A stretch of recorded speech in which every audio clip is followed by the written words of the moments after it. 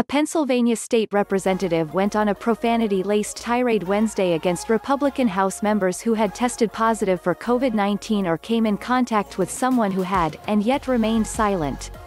State Representative Brian Sims, a Democrat out of the 182nd District in Philadelphia, released a near 12-minute-long Facebook video calling out GOP members who have been pushing to reopen the state and downplaying the seriousness of the novel coronavirus.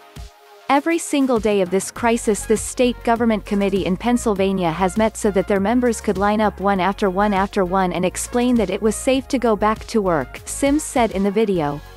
During that time period they were testing positive. They were notifying one another.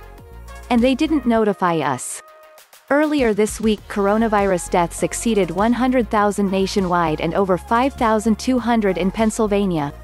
More, coronavirus updates, PA has over 750 new cases Wednesday, statewide total near 70 kin the video. Sims says that Democratic leadership became aware of at least one Republican member of the House of Representatives who had tested positive for COVID-19 and remained working in the Capitol for at least one week.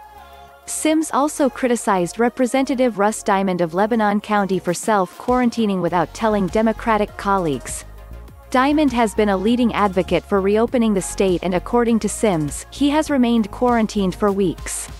In a tweet Wednesday night, Diamond said he self-quarantined but didn't get tested after possible COVID contact. He said his doctor said there was no reason for him to get tested, in his Facebook Live video, Sims said, of course he didn't explain that to any of us when he was in committee talking with us, walking up and down the aisle, bumping into us or letting us hold the door for him, Sims said. I'm in a building surrounded by members who cannot go back to their families, Sims said. I need to know if it is safe for us to be back in this building.